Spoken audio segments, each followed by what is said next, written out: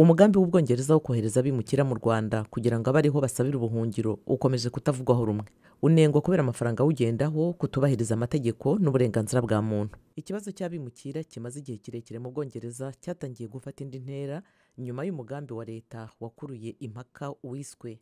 Guhana abimukira hagati y'ubwongereza n'u rwanda hagamijwe ubufatanye mu iterambere ry'ubukungu.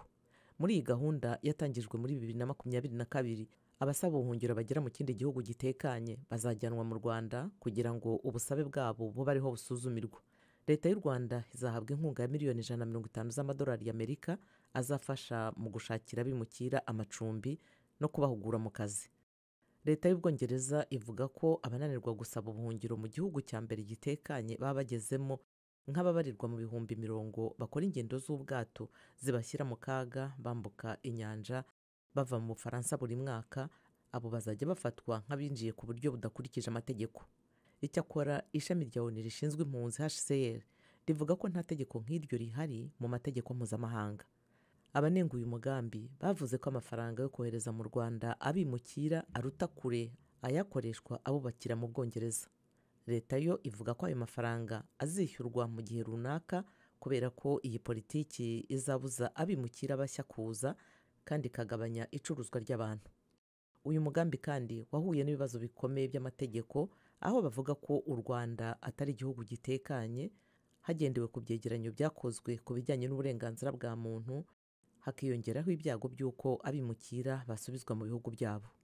Mu kwezi kwa cumi na kumwe kwa bibiri makumyabiri na gatatu urukiko rw'ikirenga rwo mu bwongereza rwemeje ko iyi politiki inyuranyije n'amasezerano y'ubumwe bw'uburayi arengera uburenganzira bwa muntu kandi ubwongereza bwashyizeho umukono. Ubwongereza bwahise businya amasezerano mashya n'u rwanda agamije gukuraho impungenge ku bafite ikibazo kubimukira ndetse bushyiraho n'itegeko rishya ryemeza ko u rwanda ari igihugu gitekanye. Ku itariki ya makumyabiri na kabiri y'ukwezi kwa kane bibiri makumyabiri na kane ubwongereza bwatangaje itegeko ryemeza ko u rwanda rutekanye ku kibazo kirebana n'impunzi n'abimukira.